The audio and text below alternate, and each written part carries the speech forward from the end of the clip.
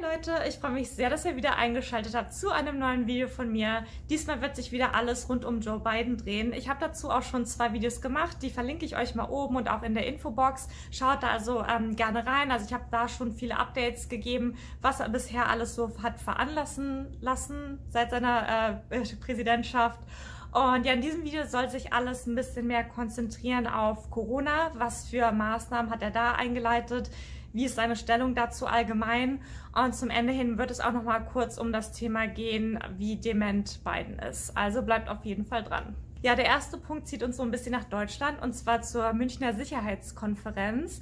Auf der hat Biden nämlich bekannt gegeben, dass er eine Organisation unterstützen, unterstützen will, die nennt sich äh, COVAX, ich hoffe, ich habe es jetzt richtig ausgesprochen, die sich eben dafür einsetzt, dass ähm, ja die Impfstoffe wirklich äh, sch schnellstmöglich gerecht an äh, Menschen auf der ganzen Welt verteilt werden können. Und er hat diese Organis Organisation unterstützt mit 2 Milliarden Dollar Hilfe. Im März 2021 hat dann der US-Kongress ein Konju Konjunkturprogramm verabschiedet, das äh, zum großen Teil von Joe Biden mitgestaltet wurde. Und äh, das hat insgesamt 1,9 Milliarden Dollar enthalten. Und äh, mit diesen Hilfsmitteln oder mit diesem Geld sollen eben die, vor allem die Bürger der USA unterstützt werden. Das zeigt sich zum einen in einer Direktzahlung an die Bürger in Höhe von 1400 Dollar. Zum anderen aber auch, um Corona-Tests und Corona-Impfungen garantieren zu können, um äh, Schulen teilweise wieder öffnen zu können und auch um Arbeitslosen mehr unter die Arme zu greifen. Ja, ein weiteres wichtiges Dekret von ihm war dann allgemein, um die Corona-Pandemie ein bisschen einzuschränken, eine Maskenpflicht und zwar bundesweit für 100 Tage. Ähm, das ist sowieso in, in den meisten Staaten, Staaten in den USA der Fall, aber eben nicht bei allen und er hat das eben bundesweit ausgeweitet, zumindest für diese gut drei Monate war auch noch eine kleine Überraschung dabei und zwar, dass Trump und Biden zumindest so ansatzweise mal einer Meinung sind. Ähm, das bezieht sich nämlich auf den äh, Impfstoff oder auf die verschiedenen Impfstoffe, die hier mittlerweile zugelassen sind und wo eben auch Leute hier geimpft werden. Und zwar hatte Trump schon gesagt, dass er komplett erstmal die USA versorgen will, bevor er das in Betracht zieht, die Impfstoffe, die den USA zur Verfügung stehen, auch in anderen Ländern bereitzustellen. Sogar selbst äh, halt eben Ländern wie Kanada, wo, wo sich das ja eigentlich anbieten würde. Und ja, hier fährt Joe Biden interessanterweise eine ähnliche Schiene.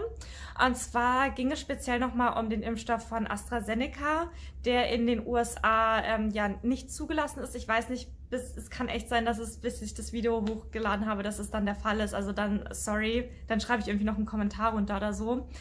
Und ähm, auch die Firma AstraZeneca hat ja gesagt, okay, dann, äh, wenn es bei euch eh nicht zugelassen ist, dann schickt das doch erstmal in andere Länder und wir garantieren euch dann, sobald es zugelassen ist, könnt ihr auch, da, da, dann versorgen wir euch wieder mit diesen Impfstoffdosen, die ihr eben jetzt woanders hingegeben habt. Also das ist von unserer Seite aus kein Problem. Da hat Joe Biden jetzt aber auch gesagt, dass er das erstmal nicht möchte. Er betrachtet das Ganze als eine Art Krieg und ähm, er möchte eben wissen, dass es den USA da gut geht und da eben so viele Menschen wie möglich geimpft werden können, bevor das an andere Länder abgetragen wird. Das Ganze wurde dann aber allerdings am 18. März 2021 etwas revidiert von seiner Pressesprecherin. Und zwar hat man gesagt, dass man zumindest jetzt dafür bereit ist, Impfstoffe abzugeben an die Nachbarländer Kanada und Mexiko.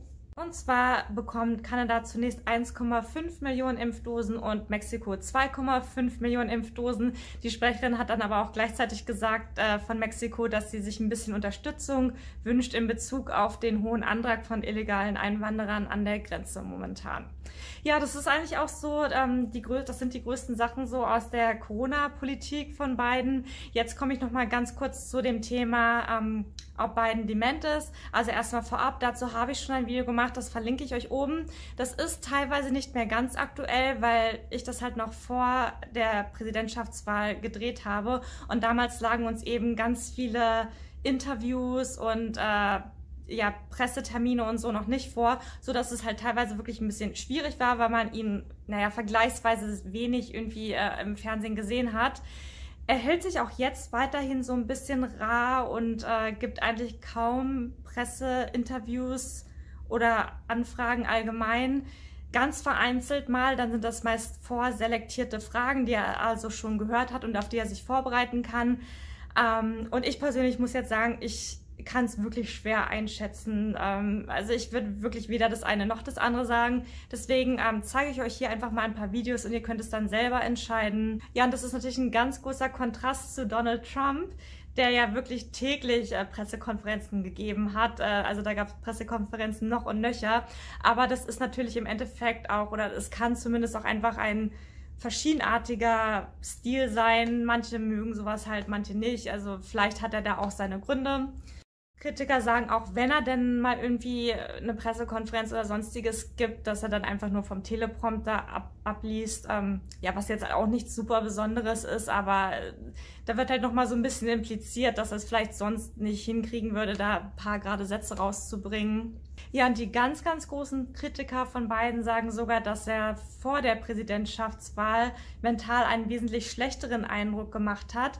Und die erklären sich das jetzt eben, dass es jetzt so einigermaßen geht, dadurch, dass er eben sehr starke Medikamente bekommt, mit denen man wohl ähm, diesen Alzheimer oder die Demenz für ein paar Monate irgendwie noch aushebeln kann. Das geht irgendwie auch nicht ewig, aber ein bisschen noch.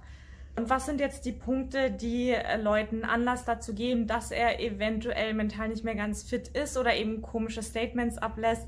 Da hat er sich zum Beispiel einmal zu China ähm, geäußert. Da ist es ja momentan so, dass die Uiguren-Minderheit verfolgt wird und die kanadische Regierung hat das Ganze auch schon als einen Genozid eingestuft. Und Joe Biden hat das eben, wieso auch immer, vielleicht um sich allgemein mit China ein bisschen mehr anzunähern oder vielleicht einfach auch nur verhaspelt, hat gesagt, dass das eben eher eine andere kulturelle Norm bei denen ist und dass, äh, dass wir als westliche Welt das quasi zu akzeptieren hätten und dass wir darüber nicht richten dürfen sollten.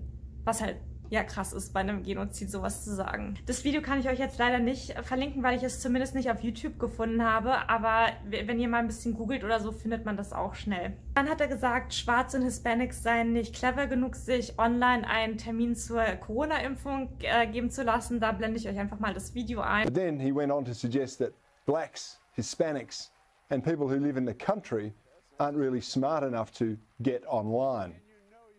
a lot of people don't know how to register. Not everybody in the community, in the Hispanic and the African American community, particularly in uh, uh, rural areas that are distant and or inner city districts, know how to use, know how to get online to determine how to get in line for that COVID vaccination.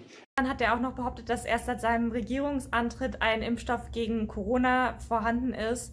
Was so auch nicht stimmt. Und er wurde ja am 21. Dezember bereits geimpft. Das heißt, dieses Statement war auch einfach ein bisschen verwirrend. When you and I talked last, we talked about it's one thing now the vaccine, which we didn't have when we came into office, but a vaccinator. How do you get the vaccine into someone's arm? Dann hat er Anfang März eine Rede gehalten und eigentlich sollten nach dieser Rede noch Fragen gestellt werden.